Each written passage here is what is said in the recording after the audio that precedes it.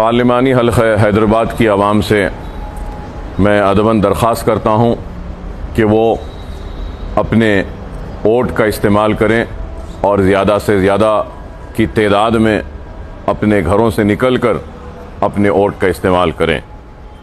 जानता हूँ कि गर्मी शिद्दत की है और मौसम बहुत ही गर्म है, चिलचिलाती धूप है। लेकिन ये भी एक हकीकत है कि हालात हमको बार बार चीख कर पुकार कर ये कह रहे हैं कि हमारा वोट हमारी न सिर्फ़ हिफाजत का जामिन बनेगा, बल्कि हमारा वोट हमारी शिनाख्त की हिफाजत करेगा तो हमारे ऊपर होने वाले नाइंसाफ़ियों पर आवाज़ बुलंद करेगा और जुल्म और जालिमों को उनके जुल्म पर जवाब तलब करेगा। तो वो मजलिस इतिहादमसलमिन है और मजलिस की आवाज़ है।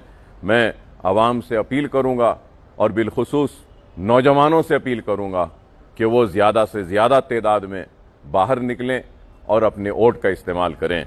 ख़वातीन का भी मैं हर वक्त की तरह इस वक्त भी उनसे अपील करूँगा कि हर वक्त आप आपने मजलिस इतिहादमसलमिन के लिए अपने घरों से निकल कर मजलिस की कामयाबी के लिए क़तारों में खड़े होकर वोट का इस्तेमाल किया।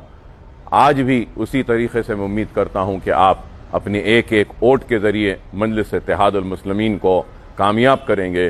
बुज़ुर्गों से अपील करूँगा कि हमको आपके वोट के साथ साथ आपके दुआओं के भी तलबगार हैं। उम्मीद करते हैं कि आप अपने वोट के साथ मजलिस की गैर मामूली कामयाबी के लिए अल्लाह की बारगाह में हाथ उठाकर हमारे लिए दुआएँ करेंगे और मजलिस इतिहादमसलमिन की गैर मामूली कामयाबी के लिए दुआओं में हमको भी शामिल रखेंगे।